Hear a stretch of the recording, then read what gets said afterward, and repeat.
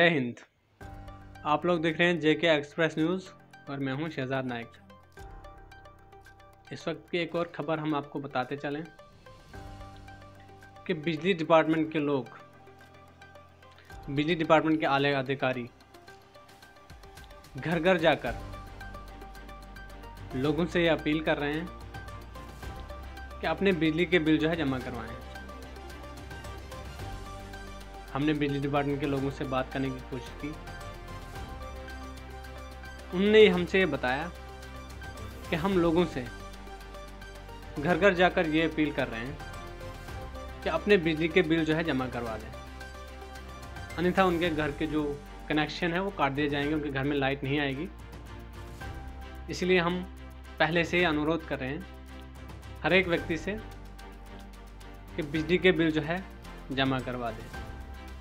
हमने उनसे पूछा कि लास्ट डेट के बारे में कि लास्ट डेट कब तक है जमा करवाने की। उन्होंने कहा कि लास्ट डेट नहीं है, लेकिन इस मंथ और अगले मंथ के लास्ट तक बिजली का बिल जमा करवा दें। चाहे किस्तों में करवाएँ या फिर एक साथ करवा दें, लेकिन जमा करवाएँ।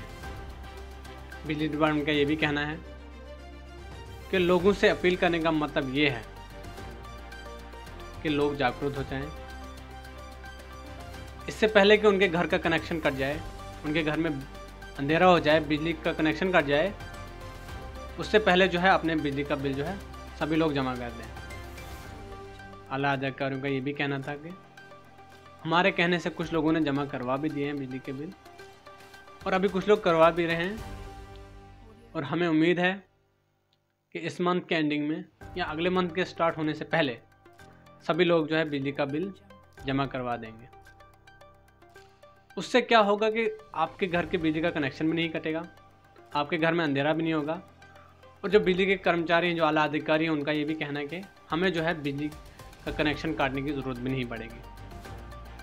इसलिए जो है वो लोग घर घर जाकर गली गली घूमकर, सभी लोगों से गुजारिश कर रहे हैं कि बिजली के बिल जो है जमा करवा दें, चाहे किस्तों में जमा करवाएँ या फिर एक साथ जैसे आप कर सकते हैं, आप कर दें। ऐसी और अपडेट के लिए देखते रहिए जेके एक्सप्रेस न्यूज़। धन्यवाद जय हिंद।